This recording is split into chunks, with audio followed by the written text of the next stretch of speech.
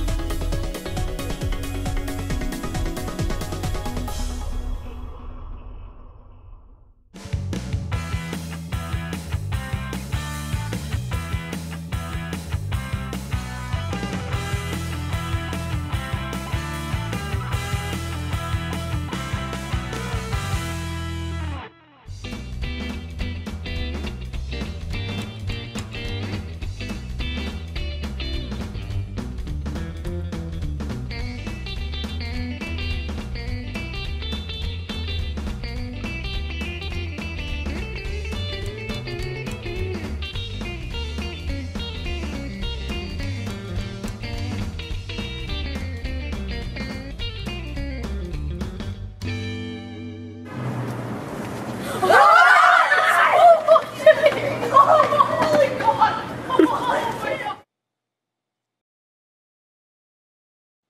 it's Magician Rich Ferguson, and we're bringing back the human chair prank. This time we're doing a Halloween edition.